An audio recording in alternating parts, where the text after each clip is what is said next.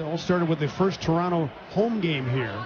The Avs have gone 16 and 6 in that stretch, and he's averaging 26 points, seven assists tonight in that stretch. Yeah, but, but he's not doing it as much as he did.